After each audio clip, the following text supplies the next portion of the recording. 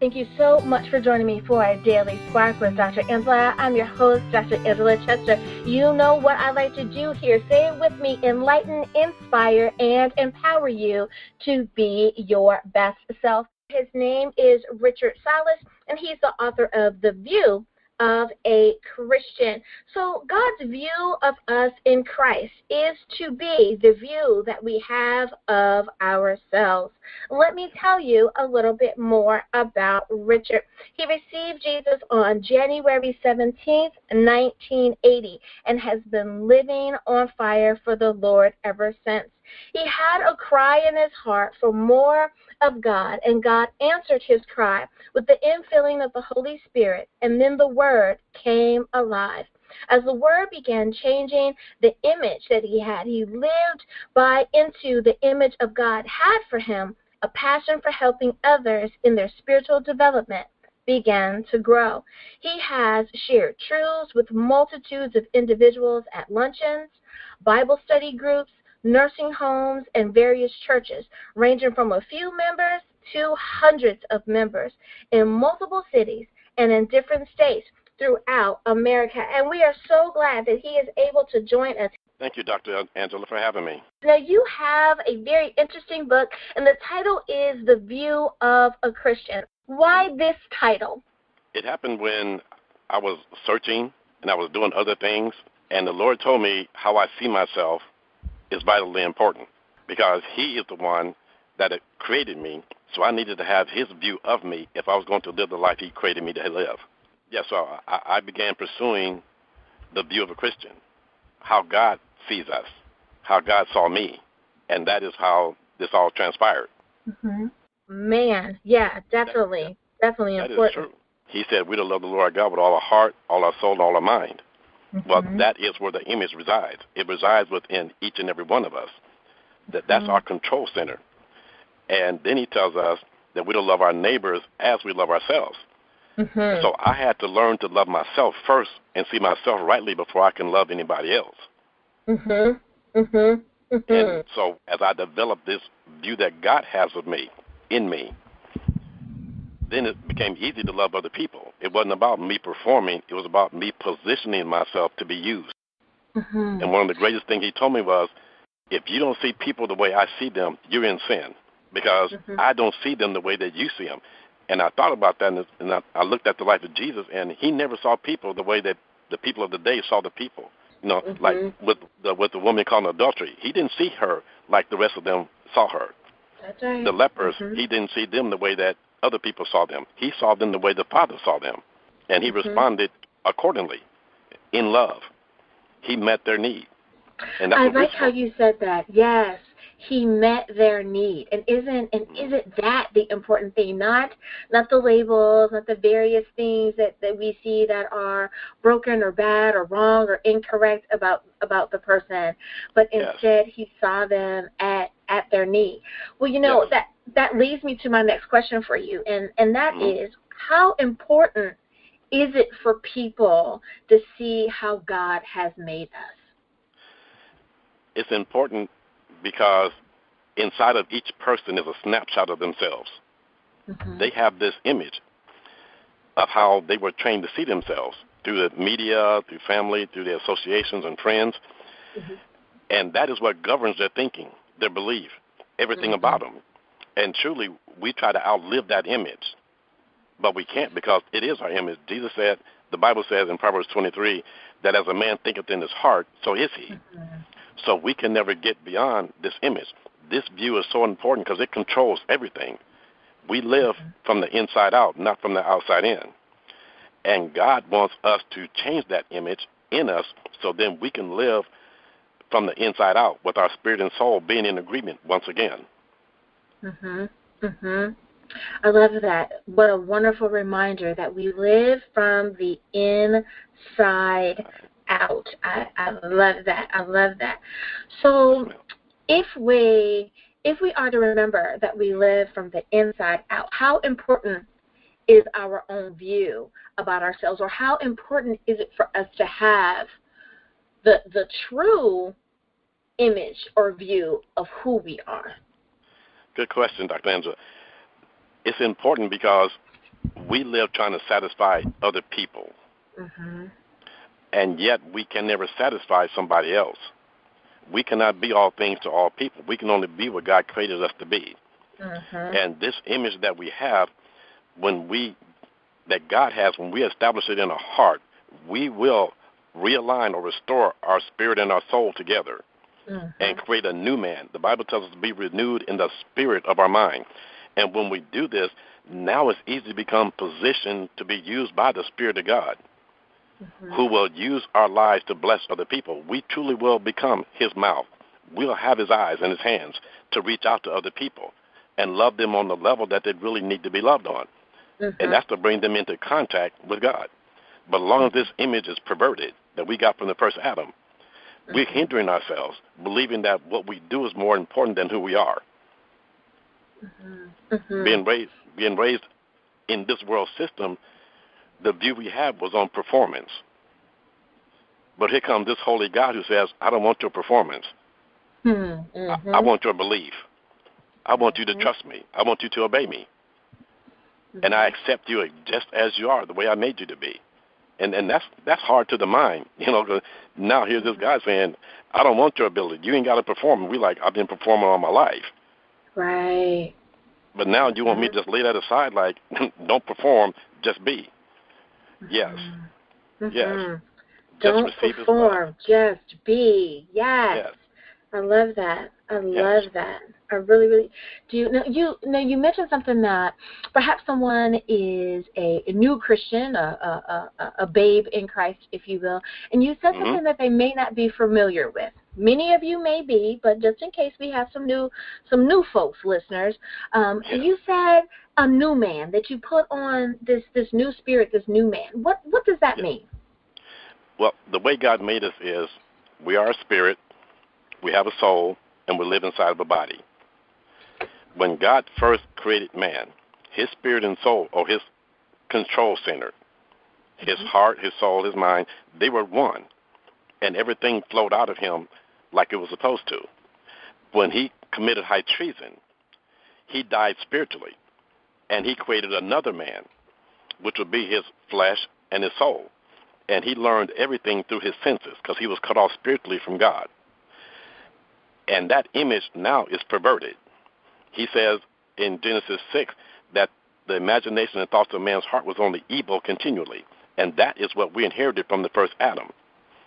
So upon being born again, we are spiritually made new. We receive the life and nature of God. But now we need to go get our soul, our control center, our heart, and bring it back under the jurisdiction of our spirit, whereby creating a new man. Thank you for explaining it that way. I think that that really made it plain for someone who perhaps wasn't familiar with that Mhm. term. Now, you talk about the the various images that, that we should have, understanding who we are in Christ and understanding who we are as our individual selves, but then understanding that that we are also a person that is under the Lord. If we, once we have Yes. submitted ourselves to God, that we that we are this different person.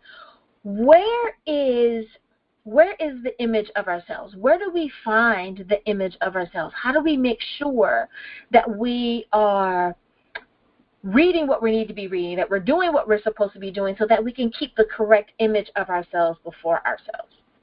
Yes. Good question, Dr. Angela. The image resides within our heart. Mm-hmm. And the, now the world tells us our heart is a blood pump. And that's true for our body. Mm-hmm. But as a, a spirit being, it's our control center. It's where we live from. In Proverbs chapter 4, he said, Guard your heart with all diligence, for out of it are the issues of life. Mm-hmm. And in our heart, which the only way we can get there is the Word of God. No man, no medical, no device, no anything can show us this heart. Only we we can only see this heart in the Word of God. Mhm. And as we meditate on the Word, as primarily in Acts to Revelation, is where we find us, the church. Mhm. Is when we will develop within us that correct image of who we are, what we are, and what we can do in Christ. Mhm. And Mhm. when that's established through meditating, which is a taboo thing for many Christians, but it shouldn't be taboo because meditating started with God. It didn't start. It didn't start with the world. God. God told Joshua to meditate, Before Joshua, mm-hmm. Moses had to meditate. Before mm-hmm. Moses, Abraham, he told Abraham count the stars. Well, he was telling him look up, meditate, because mm-hmm. there's no way this man could have that many kids. You know, he right. couldn't have one wife that could have that many kids. You know what I mean? So he had to be using his imagination, mm-hmm. and he mm-hmm. and he did. And and and in doing that, he then walked in faith. It said he believed God, and God connected imagine our imagination, our, our ability to meditate on faith. He says faith comes by hearing, and hearing by the word of God. Mm-hmm. The primary way to meditate is to mutter or speak. Mm-hmm. So in speaking the word of God, we're actually meditating in the word. And that's developing in us the faith needed to be successful in seeing ourselves the way that God sees us. I am so glad that you said that you reminded our listeners that meditation started with God. And it's like, well, you know, uh, Christians, this is not something that we need to be afraid of. Um, just because uh, other people have decided to make the word a little bit more popular, uh, you know, vocabulary wise, doesn't Mhm. mean that we have to give it up because it was it was created for us as a communication style to to spend time with the Lord. I love it. Thank Yes. you so much for reminding everybody. Where can they get a copy of your book or where can they follow you online? All that good stuff. Okay. The book is available from westbowpress.com. It's available on amazon.com and barnesandnoble.com. Mm-hmm. And at the present, I have a web page called Pursuing God on Facebook and another one called Believers Quest Pursuing God on Facebook that they can follow me, contact me, and interact with me. Alrighty, listeners. We need to go to break right now, but don't worry, we will come back and continue our conversation with Richard Sallis. We'll be back right after this.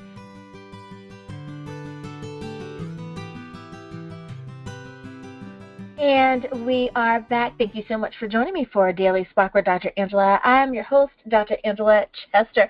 We are talking about the view of a Christian.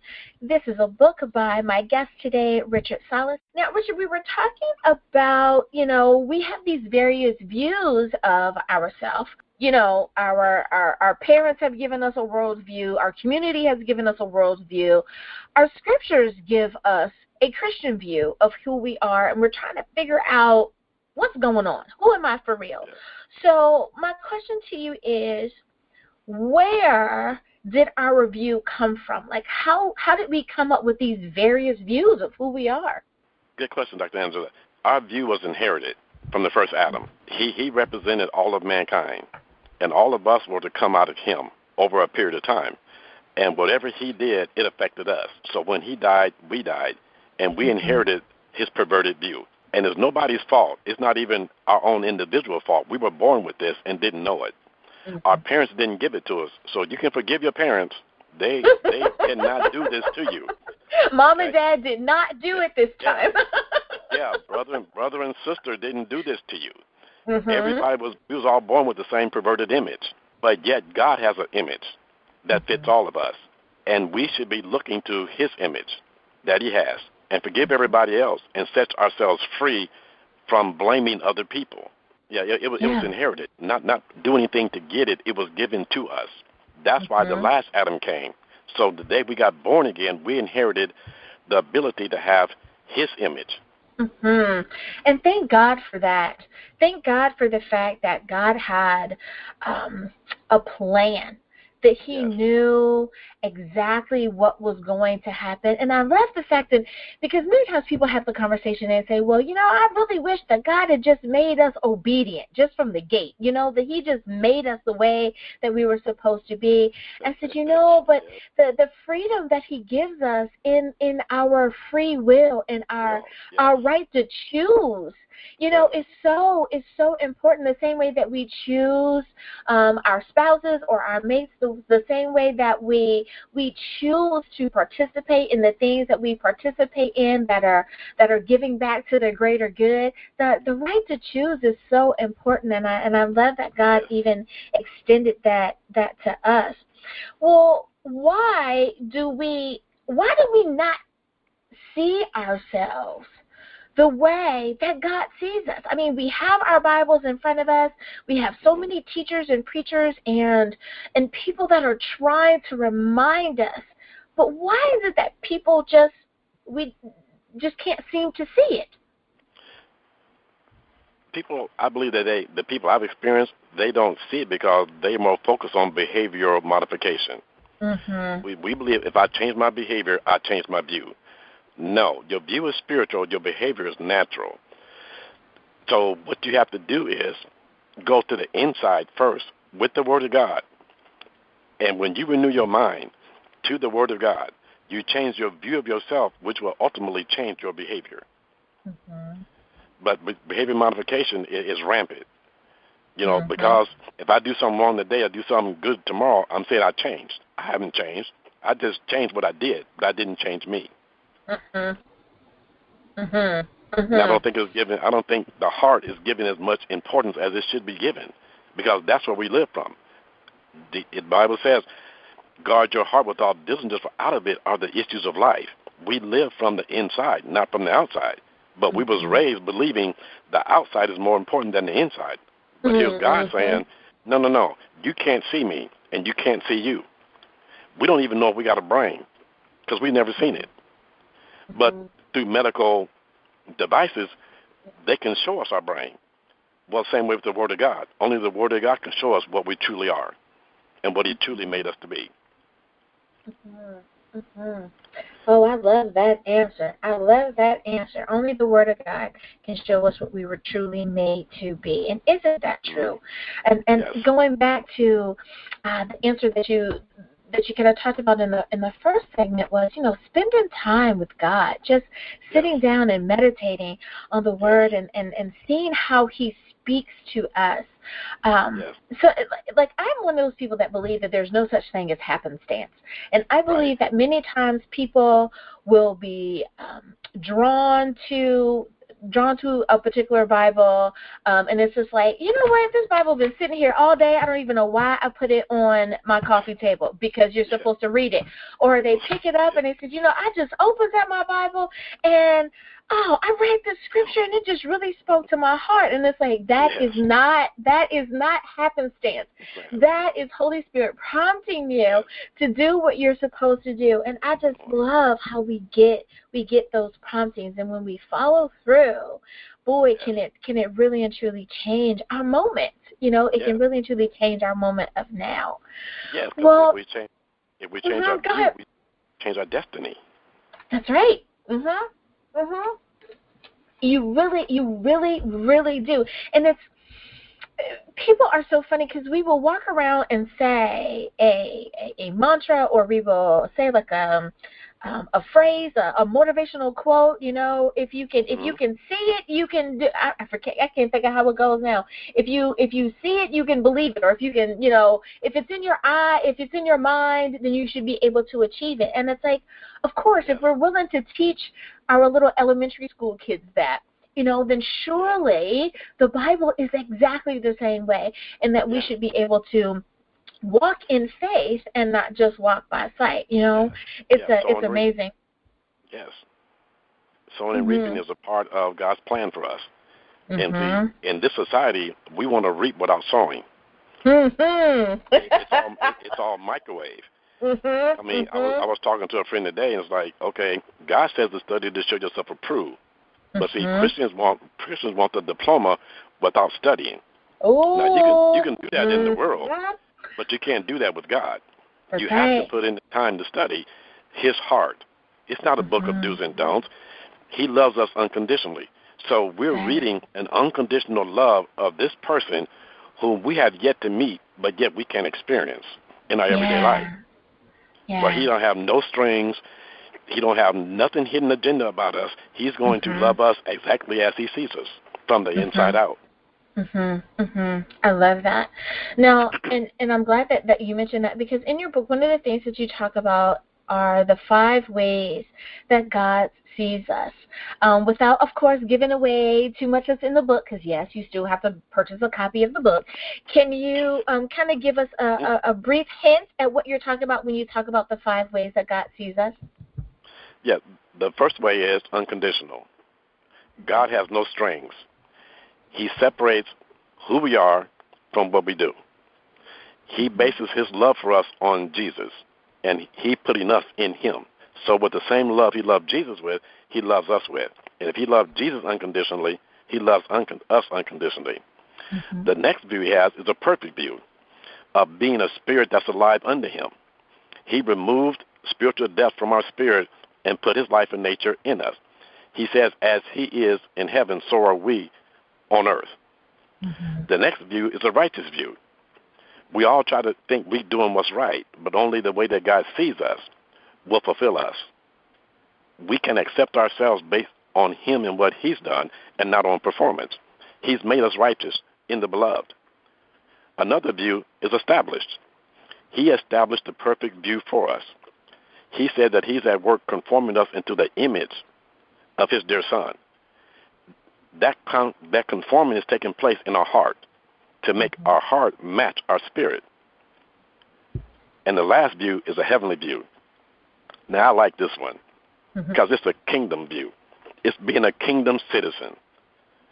If we can say we're a citizen of the United States or any country you live in, mm-hmm. if you're born again, you are a citizen of heaven. You have all the rights to everything that's in heaven.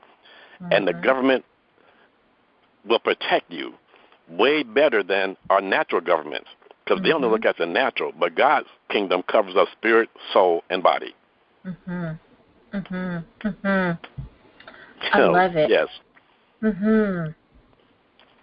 That is such a, a, a great way to put that you know that that god is so much more that if if you like being this citizen imagine what being a citizen of the kingdom is is all about i i really like that one so what what would you say um god has given us uh, as far as how we're able to change our view of ourselves good question dr angela he's given us three things uh, three primary things one, mm-hmm. the image of Jesus.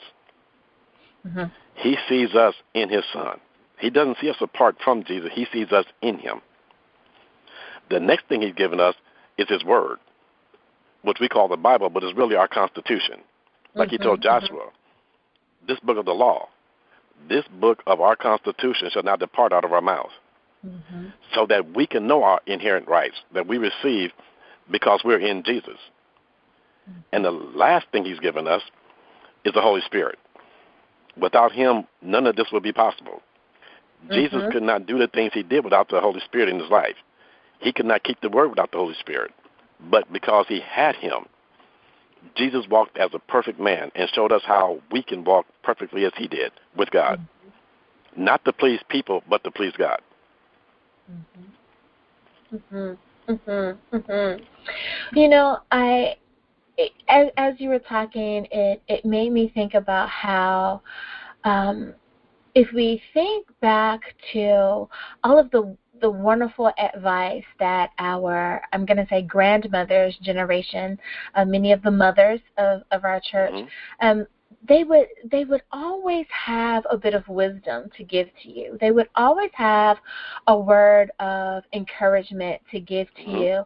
And if we think about um, for those who who may be having a hard a hard time with does Holy Spirit really you know come come and talk to me?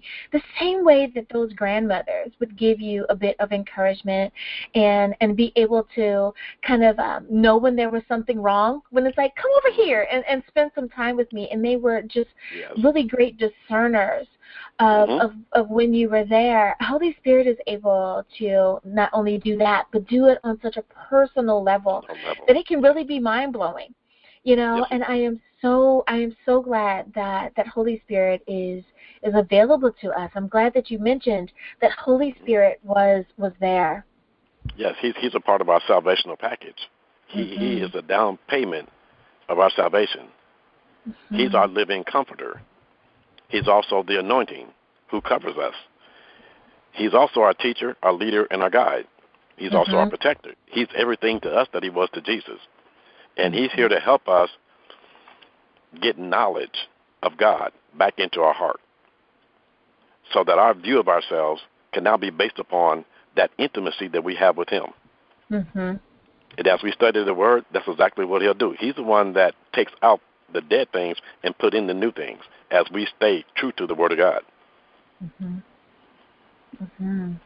He takes out the dead things and puts Mhm. in the new things. Ah, Yeah. that's a nugget If right there. If I can put it this way, He takes out the tree of the knowledge of good and evil, and He puts back in the tree of life Mm-hmm. Mm-hmm. into our heart, mm-hmm. Mm-hmm. to where we see ourselves as God sees us once again.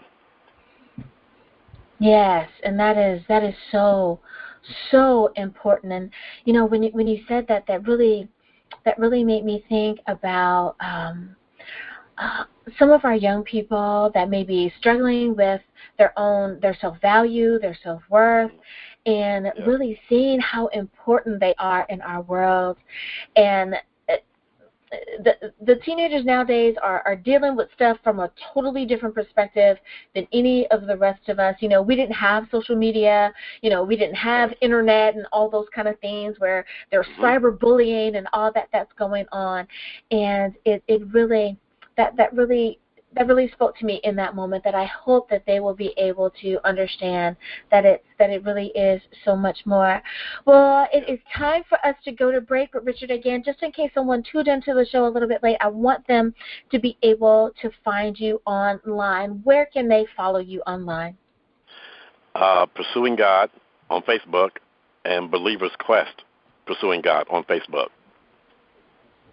All righty. I, I've not yet launched my internet page. I'm working on that one. well, my you know what? page.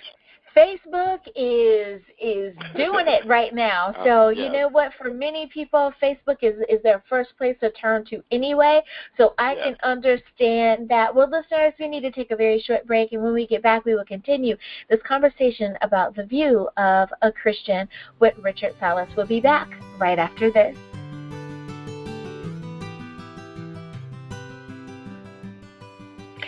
And we are back. Thank you so much for joining me for Daily Spark with Dr. Angela. I'm your host, Dr. Angela Chester.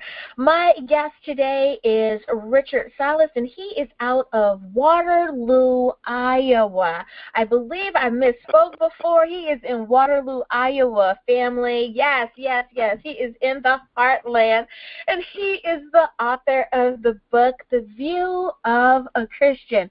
Now, I happen to love that title, and but that is our topic today. God's view of us in Christ is to be the view we have of ourselves. And I think Yes. that that is so absolutely positively true. So, Richard, what view should we should we have of ourselves? How do we come to the conclusion of our truest view of who we are? Yes, the view we have of ourselves is the one that God has of us. And it is being of his child. We are mm-hmm. children of God. If we're born again, if we receive Jesus, we mm-hmm. became children of Almighty God. And he is the most loving, caring, providing mm-hmm. father we could ever know. He cannot be compared to our natural fathers because they can only do so much, but he sheds us with covers us with his love like nobody else can. Mm-hmm. And he wants us to know we're more than what we see. He made us more than what we see. And we need to come up to seeing ourselves more than just the natural side of our life. Mm-hmm. There's a whole world we've not yet explored. The greatest journey is from your spirit to your heart. Mm-hmm. That is where you're going to find your true self. Because as we walk toward Him by believing what He says, we're taken off. Like blind Bartimaeus, he got up, Mhm. taking off the clothes that identified him as being blind because he was expecting change. We too can get up and believe that we are just the way God said and walk away from those images that hold us back Mm-hmm. because they're not from God. They, they were inherited from the first Adam. But if you've been born again, Jesus has now become your standard. And he said that you are heir and a joint heir with Christ. Mm-hmm. So you have equal position with Christ in the eyes of God. Mm-hmm. And God loves you. He loves you like he loves Jesus.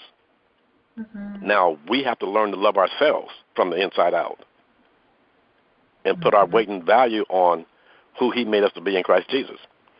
And if I can say this one thing to help people, is this your worth and value to God was based on the blood of Jesus. And that blood identified you in God's eyes as being his child. Mm-hmm. Mm-hmm. So you're a citizen of heaven. That citizenship is yours forever. And you can live like a citizen of heaven now on this earth. And it just comes down to having God's view of you established in your heart. Mm-hmm. And you will see your life, your behavior, your desires change from pursuing things you thought would make you happy to now resting in knowing you already arrived. Mm-hmm. Mm-hmm. Mm-hmm. You know, you said something uh, earlier is that we need to learn how to expect the change. Mm-hmm. And I think that so many times people don't expect the change. They they pray the prayer, and they mm-hmm. kind of hope that God will answer the prayer. Do you know what yeah. I mean? Like they're they're really kind of fifty fifty. They're kind of shaky about it. They mm-hmm. they're really not sure. Deep down in their heart, they're thinking, "Well, I don't know. God might not have heard me. Was He listening? Maybe I'm not worthy. What whatever mm-hmm. whatever the reason is." So.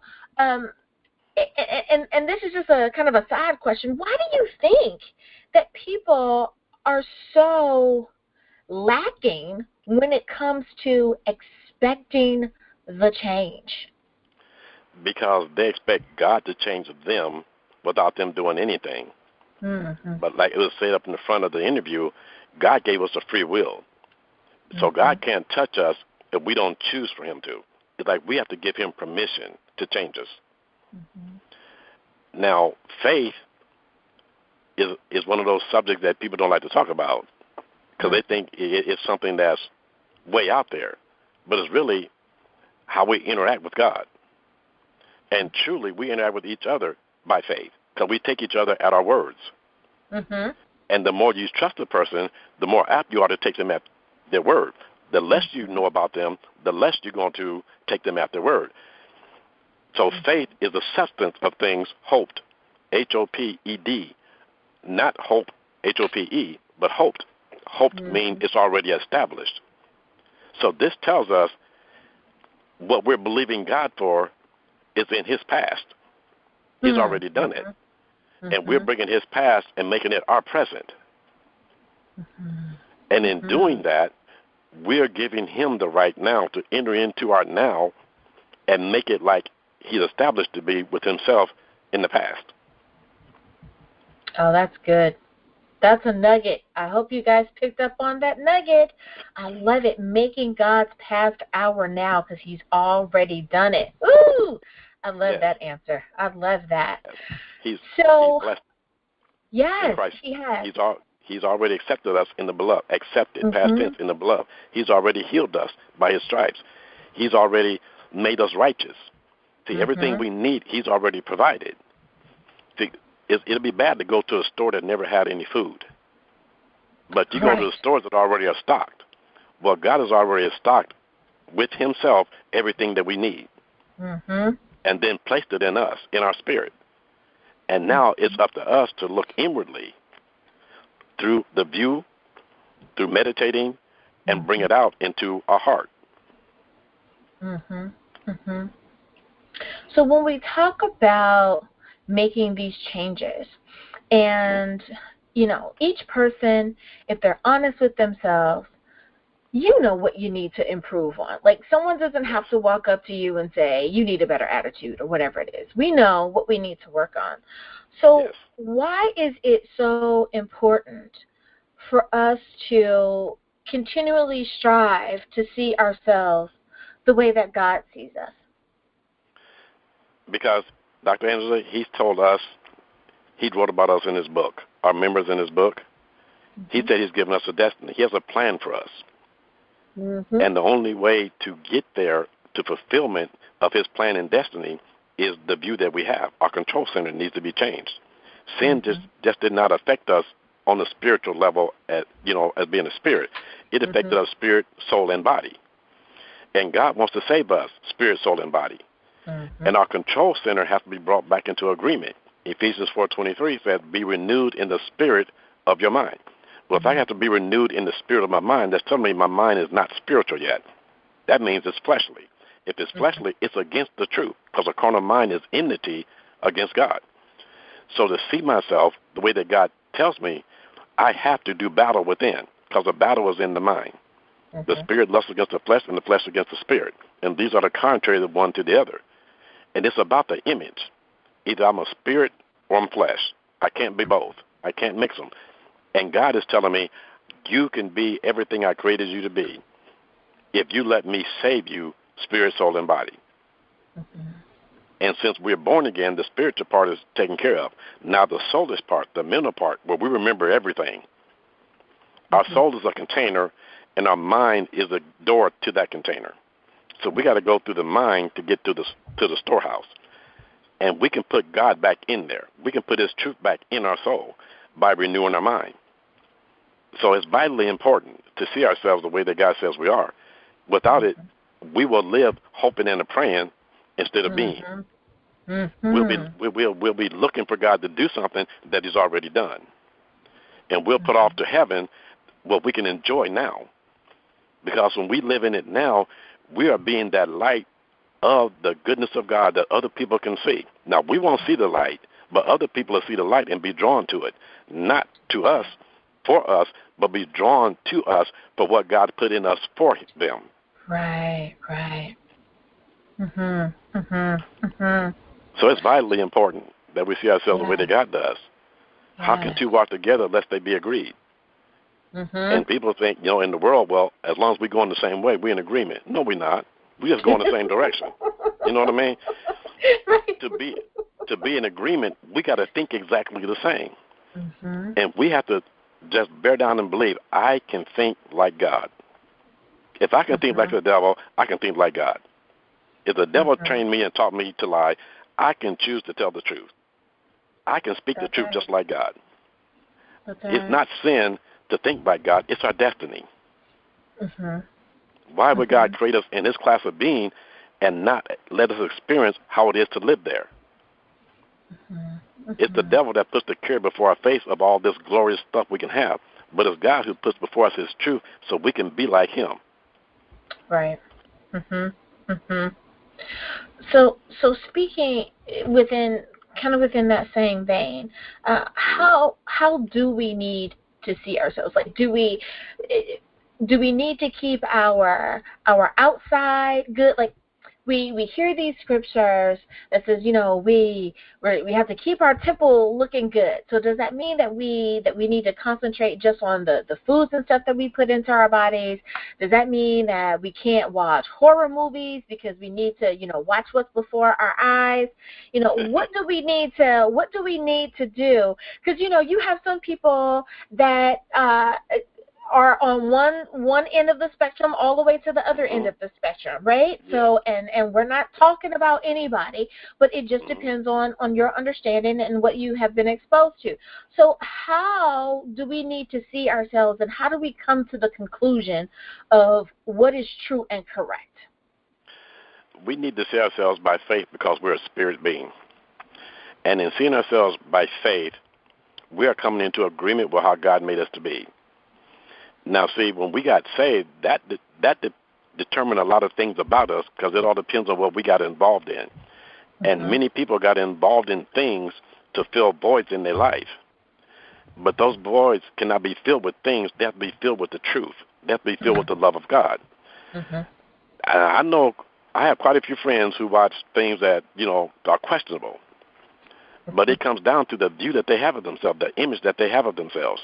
Mm-hmm. Now, when they begin seeing themselves wholeheartedly like God says, then it's the Spirit of God's job to let them know, hey, enough is enough.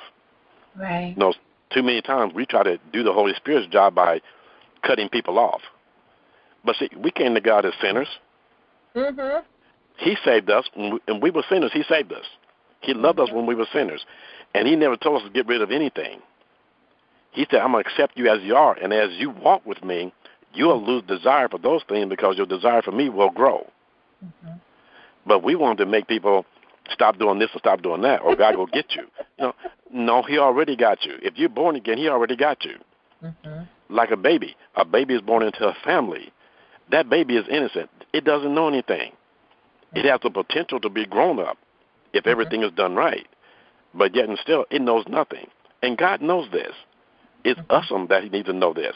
That we should not be forcing people to do do's and don'ts because that's not the love of God.